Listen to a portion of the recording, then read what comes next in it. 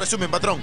Bueno, un inicio bastante interesante de parte sobre todo de, del UTC, ¿no? Aquí viene el gol, un rebote, prácticamente un cubrir de parte de Baloyes al defensa para que el balón pase, da el bote, remata y el sal, o sea, la elevación de la pelota prácticamente eh, no puede hacer absolutamente nada. Aquí hay otra oportunidad de gol, pero que yo pienso que iba hacia afuera ese balón. Pero durante todo el partido, el que mejor ha hecho las cosas es el UTC.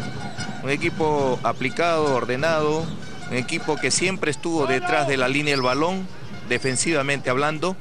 En la zona frontal prácticamente la cerró con todo, con bastantes compactos en ese medio sector que es el del peligro. Y bueno, al final pues un justo ganador, pienso yo, que opacó totalmente al puntero de nuestro campeonato. Aquí buscaba una, ¿no? Eh, con Baloyes, tú lo decías, parece que duda un poco en que si la pelota va a pasar o no. Y también el cansancio le pasaba la factura. Y esto es lo que, lo que mencionaba, ¿no? Gran un pase, tremendo. Prácticamente tres cuartos de gol. Ahí lo único que tenía era tocar el balón y gol. Bueno, se concretó. Gracias para bien del UTC, ¿no? Y termina consiguiendo una victoria importante el equipo cascamarquino. Totalmente, después de venir de ganar a Vallejo, otro triunfo importante también. Yo pienso de que este punto de quiebra ya con el Vallejo empezó.